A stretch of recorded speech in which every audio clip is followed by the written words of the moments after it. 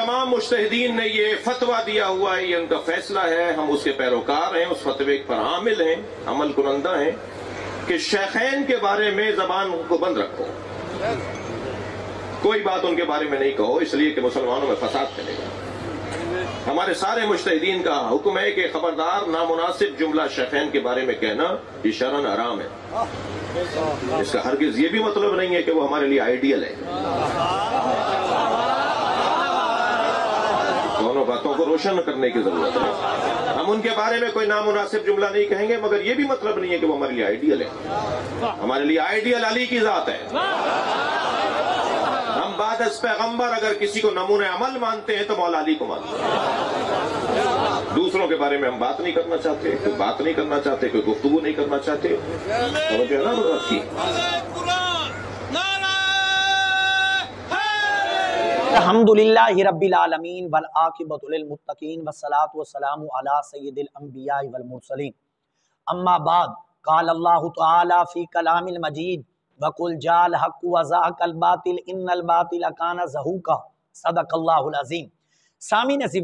आपने शिया दीन, मौलाना शाह नकवी साहब का क्लिप सुना, जिसके अंदर वो कह रहे हैं कि हमारे मुजतहिदीन का फतवा है कि शेखैन के मुतलक कोई नामुनासिब जुमला नहीं कहा जाएगा। उनके मुतलक अपनी ज़ुबान को बंद रखा जाएगा। और फिर इसके बाद उन्होंने ये कहा कि इसका मतलब ये नहीं कि हज़रत सैदना अबू बकर सिद्दीक और हज़रत सैदना उमर फारूक रदी अल्लाह तहो हमारी आइडियल शख्सियात हैं। तो मैं मौलाना साहब से आज ये कहना चाहता हूँ, चलो इस बात को तो आपने तस्लीम किया है ना कि हमारे अकाबरीन का फतवा है कि हज़रत अबू बकर सिद्दीक और उम्र फारूक की बेअदबी और गुस्ताखी नहीं की जाएगी। रह गया ये मसला कि आपने कहा कि वो हमारी आइडियल शख्सियात नहीं है। तो मौलाना, मैं आपको ये कहना चाहता हूँ, आपके आइडियल मानने या ना मानने से हज़रत अबू बकर और हज़रत उम्र फारूक की शान में कोई फ़र्क नहीं आता। अलहमदुल्ला जमहूर अहले इस्लाम और अहले सुन्नत इन दोनों शख्सियात को अपनी आइडियल शख्सियात मानते हैं और तस्लीम करते हैं। अब मैं इन ताला, आपने अपने क्लिप के अंदर कहा था कि हम अहले बैत को अपना आइडियल मानते हैं। तो अल्हम्दुलिल्लाह हम सुन्नी भी फख्र से कहते हैं कि हम अहले सुन्नत भी अहले बैत को अपना आइडियल मानते हैं। और अहले बैत ने जिनको अपना आइडियल माना, हम सुन्नी अल्हम्दुलिल्लाह, उनको भी अपना आइडियल मानते हैं। तो आज की इस नशस्त में मैं, मौलाना साहब, आप ही की उम्माहातुल कुतब से ये साबित करूँगा कि अहले बैत में से हज़रत अलीजुल मुर्तज़ा, हज़रत इमाम हसन मुजतबा, हज़रत सैदना इमाम हुसैन रदी अल्लाह तु इन तमाम शख्सियात ने हज़रत अबू बकर सिद्दीक, हज़रत उमर फारूक रदी अल्लाह तहुमा को अपना आइडियल माना। सामिन जिवकार, इस सिलसिले में मेरा पहला हवाला। ये मेरे हाथ में शिया मज़हब की हदीस की चोटी की किताब है मानियुल अखबार। लिखने वाले शेख सुद्दूक कुम्मी हैं और सामिन जिवकार, ये किताब छपी हुई है बैरूत, लबनान की। शिया ही के मकतबा से ये किताब शाया हुई। और सामिन जिवकार इसका सफ़ा नंबर है जी तीन सौ चौवन। रिवायत का नंबर है एक सौ दो और ये रिवायत इमाम जाफ़र सादिक से मरवी है। इमाम जाफ़र सादिक फरमाते हैं, लम्मा नाजारा इलसानी वह हुआ मुसज्जा बेसौब ही मा अहदुन अहब्बू इलैया, अन अलकल्लाह बिसहीफतिम मिन हाजल मुसज्जा। इमाम जाफ़र सादिक फरमाते हैं, जब हज़रत अलीजुल मुर्तज़ा शेर खुदा रज़ी अल्लाह तु ने हज़रत सैदना फ़ारूक आज़म रज़ी अल्लाह तु को कफन में मलबूस देखा, यानी आपका जनाजा देखा तो हज़रत अलीजुल मुर्तज़ा शेर खुदा ने फरमाया कि मैं चाहता हूँ, जब मैं भी अल्लाह की बारगाह में जाऊँ तो मैं ऐसा नामा अमाल लेकर जाऊँ, जैसा नामा अमाल लेके उमर इबन खत्ताब जा रहा है। अल्लाह अकबर कबीरा। कितनी शान है हज़रत उमर इबन खत्ताब की कि हज़रत सैदना मुर्तज़ा जैसी शख्सियत फरमा रही है कि मैं भी चाहता हूँ, जब मैं अल्लाह की बारगाह में जाऊँ तो ऐसा नामा आमाल लेकर जाऊँ, जैसा नामा आमाल उमर इबन खत्ताब लेकर जा रहा है। मिन हाजल मुसज्जा, मिन हाजल मुसज्जा, ऐसा नामा आमाल लेकर जाऊँ, जैसा नामा आमाल उमर इबन खत्ताब लेकर जा रहा है।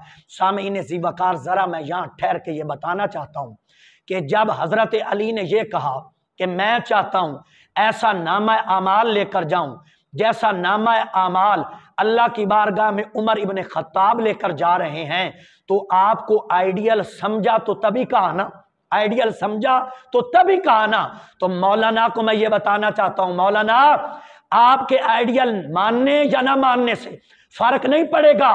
हज़रत उमर को आइडियल हज़रत अली की साथ मान रही है। हज़रत अली आपको आइडियल मान रहे हैं।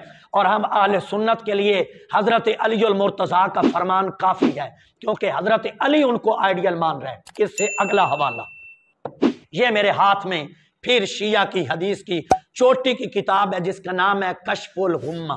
कशफुल हुम्मा। दार मुर्तज़ा की ये छपी हुई है, लिखने वाले अली बिन ईसा शिया के चोटी के मुहदस हैं। पहली जिल्द है और सफ़ा नंबर इसका सामीन जीवकार, एक सौ बासठ है। एक सौ बासठ सफ़ा के ऊपर क्या लिखते हैं?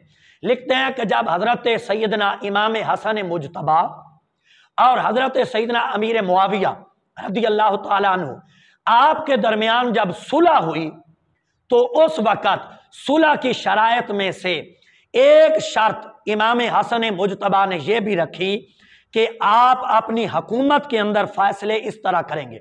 वो कौन सी शर्त है? मैं पढ़ के सुनाता हूँ। फरमाया बिकिताबिल्ला व सुन्नत रसूल फिर फरमाते हैं, व सीरतिल राशिदीन। वसीर तिल राशिदीन।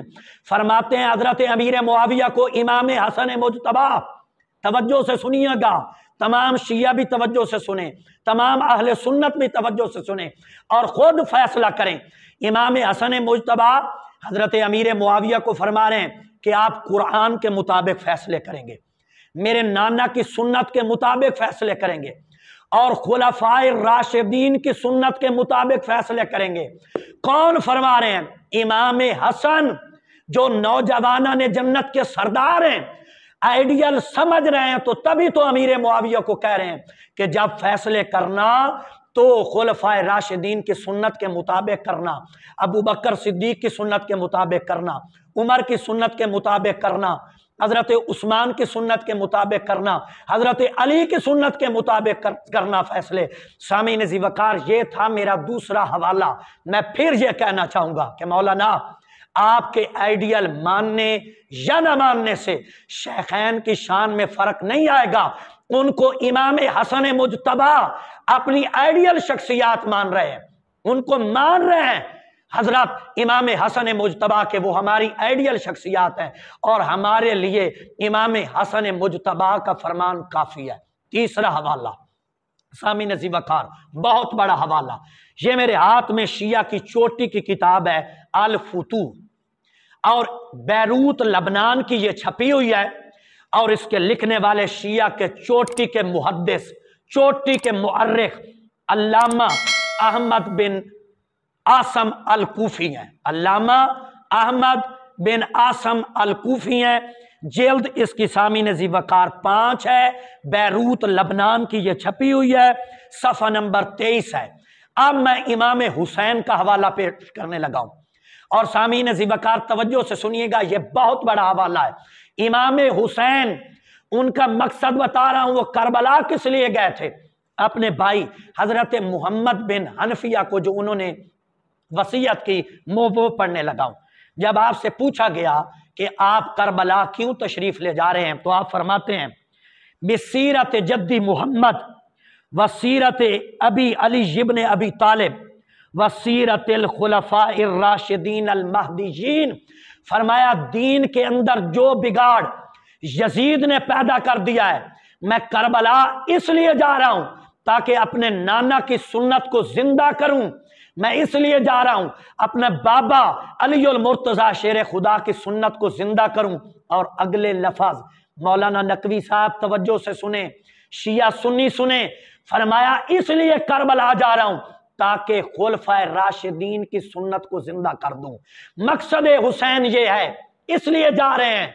इतनी अजीम शान कुर्बानी हुसैन ने इसलिए दी कि हजूर की सुन्नत को ज़िंदा करें और हजूर के सहाबा खुलफा राशिदीन की सुन्नत को ज़िंदा करें। सामिन जीवकार मैं ज़रा ठहर के ये कहना चाहता हूँ, हुसैन ने उनको आइडियल समझा तो इसलिए तो कहा ना मोहम्मद अनफिया को वसीयत की कि मैं इसलिए खुलफ जा रहा हूँ करबला कि मैं जाकर खुलफा राशिदीन की सुन्नत को क्या करूँ? ज़िंदा कर दूँ।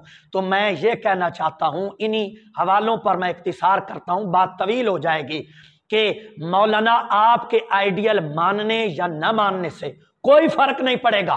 कोई फ़र्क नहीं पड़ेगा। अल्हम्दुलिल्लाह अल्हम्दुलिल्लाह, सुम्मा अल्हम्दुलिल्लाह। हज़रत शेखैन को, खुलफा राशिदीन को हज़रत सैदना अली मुर्तज़ा आइडियल मान रहे हैं। हज़रत इमाम हसन आइडियल मान रहे हैं, इमाम हुसैन आइडियल मान रहे हैं।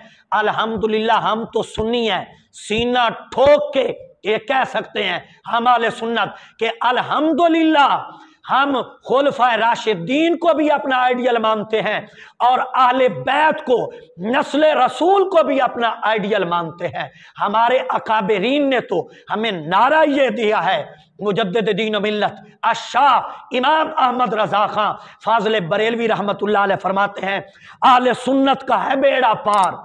असहाब हजूर, नज्म है और नाव है इतरत रसूलुल्लाह की। हम तो आले बैत को भी अपना आइडियल मानते हैं और हज़रत शेखैन को भी अपना आइडियल मानते हैं। मौलाना, मैं आपको एक नसीहत करूँगा। हमारी ना माने तो कम अज कम अपने अकाबरीन की मान के साहब इकराम पर तान करना छोड़ दें। आपने खुद कहा है कि हमारे अकाबरीन का फैसला है। शेखैन के ऊपर किसी किस्म का तान नहीं किया जाएगा। उनके मुतलक जबान को क्या किया जाएगा? खामोश रखा जाएगा। वमा अलैया इल्लल बला।